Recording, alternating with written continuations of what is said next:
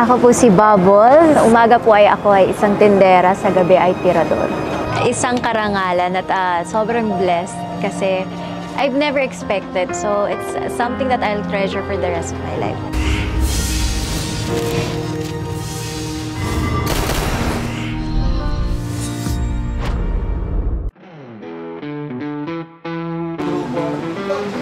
Doon sa'yo, nagtatalo ng ingay-ingay na ito, dapat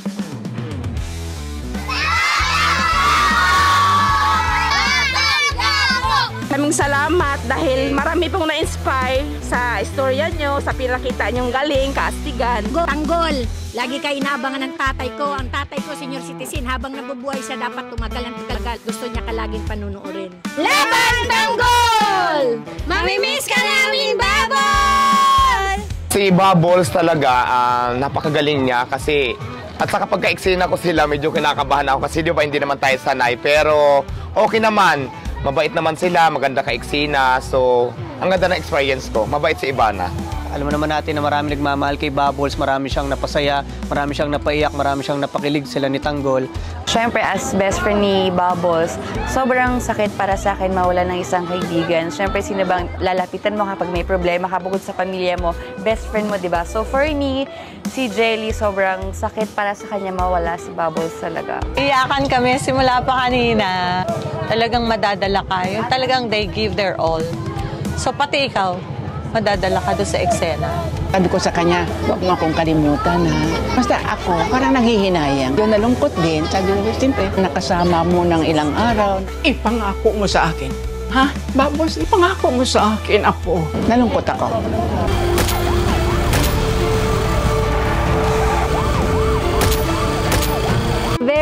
Exciting kasi ang dami kong nagawa sa project na action, may drama, may romance, and may kilig. Ang dami. So, it's something na first time ko nagawa.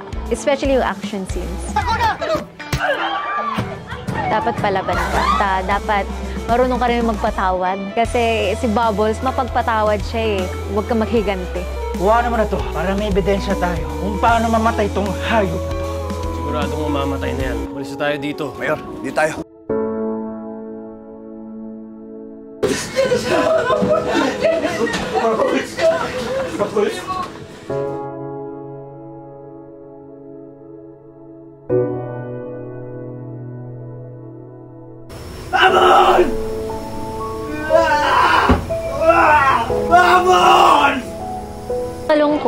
Yung mga marami akong nakikita nag-iiyak-iyak.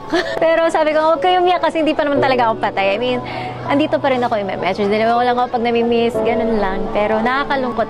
Meron nga scene yung death scene ko, yung nabaril. Totoo yung hagulgul ko. Kasi parang naisip ko lahat nung pinagdaanan ni Bubbles since day one na nakakulong, nag-action, naging pumapatay. Tapos ngayon, ako na yung napatay. So parang sabi ko, mamimiss ko din to.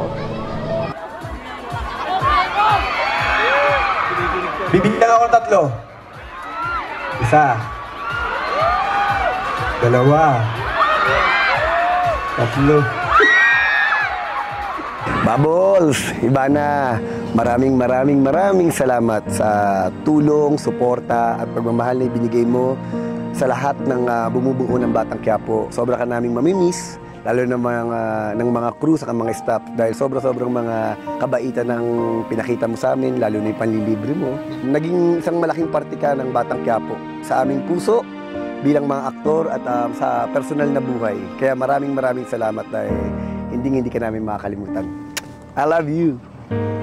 Mahal ko kayong lahat. And uh, salamat dahil unang araw pa lang grabe niyo ako tinututukan at uh, mamimiss ko kayong lahat.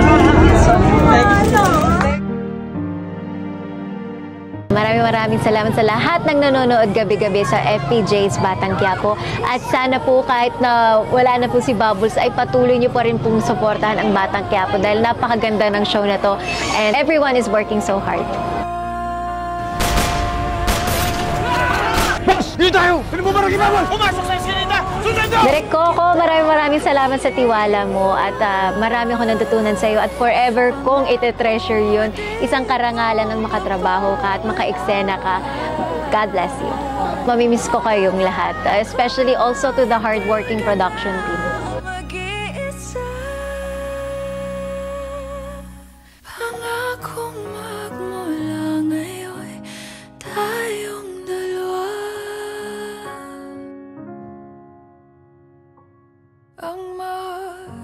Take